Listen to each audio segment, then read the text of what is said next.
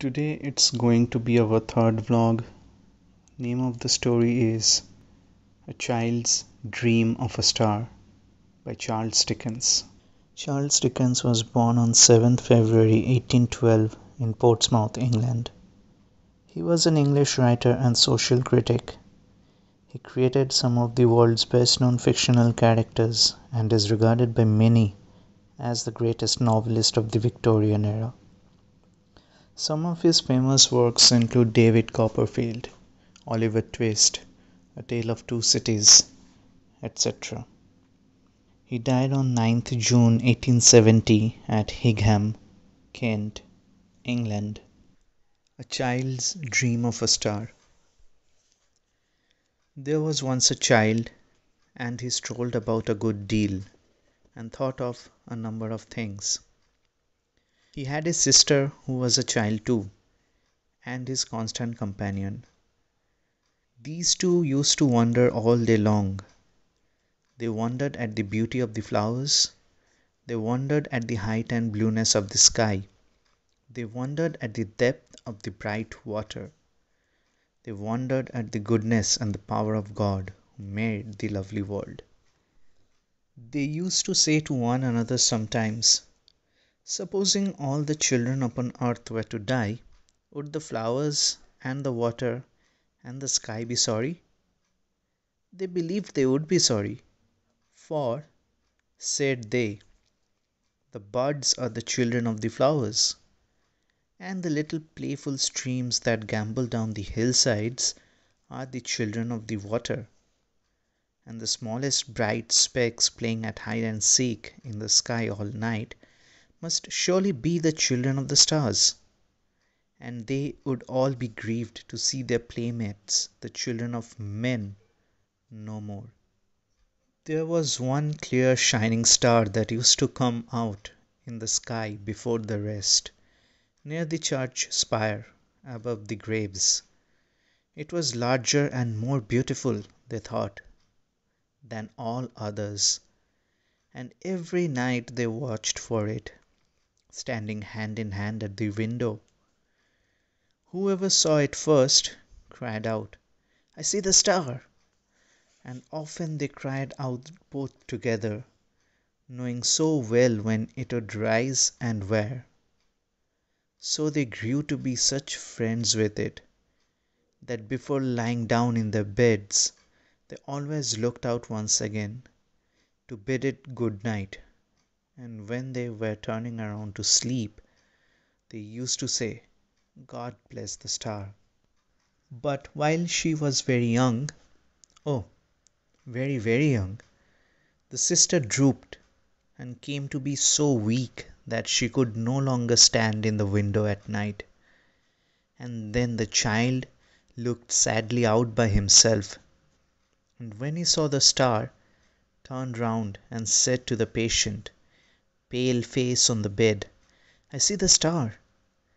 And then a smile would come upon the face, and a little weak voice used to say, God bless my brother and the star.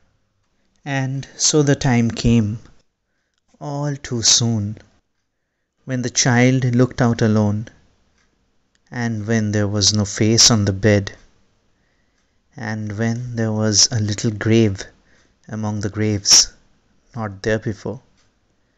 And when the star made long rays down toward him, as he saw it through his tears. Now these rays were so bright, and they seemed to make such a shining way from earth to heaven, that when the child went to his solitary bed, he dreamed about the star, and dreamed that, lying where he was, he saw a train of people taken up that sparkling road by angels, and the star, opening, showed him a great world of light, where many more such angels waited to receive them. All these angels who were waiting turned their beaming eyes upon the people who were carried up into the star, and some came out from the long rows in which they stood and fell upon the people's necks, and kissed them tenderly, and went away with them down avenues of light, and was so happy in their company that, lying in his bed, he wept for joy. But there were many angels who did not go with them, and among them one he knew. The patient face that once had lain upon the bed was glorified and radiant, but his heart found out his sister among all the host. His sister's angel lingered near the entrance of the star, and said to the leader among those who had brought the people thither, Is my brother come? And he said, No. She was turning hopefully away, when the child stretched out his arms and cried, "O sister, I am here, take me." And then she turned her beaming eyes upon him, and it was night and the star was shining into the room, making long rays down toward him as he saw it through his tears. From that hour forth the child looked out upon the star as on the home he was to go to when his time should come. And he thought that he did not belong to the earth alone, but to the star too, because of his sister's angel gone before. There was a baby born to be a brother to the child and while he was so little that he never yet had spoken word, he stretched his tiny form out on his bed and died. Again the child dreamed of the opened star, and of the company of angels, and the train of people, and the rows of angels with their beaming eyes, all turned upon those people's faces. Said his sister's angel to the leader, Is my brother come? And he said, Not that one, but another. As the child beheld his brother's angel in her arms, he cried, "O sister, I am here, take me." And she turned and smiled upon him, and the star was shining.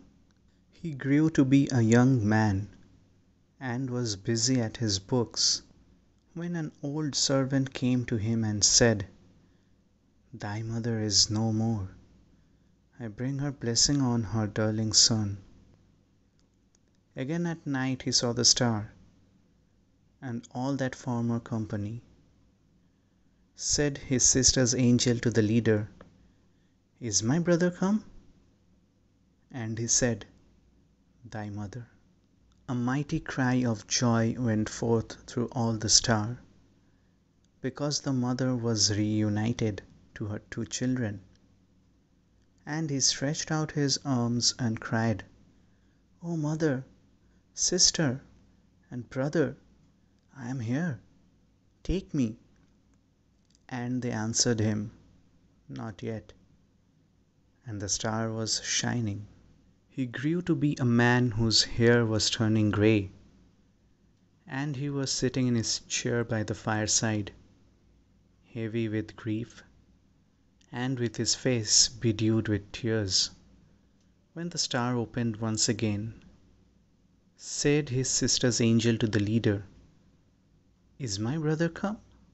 And he said, Nay, but his maiden daughter.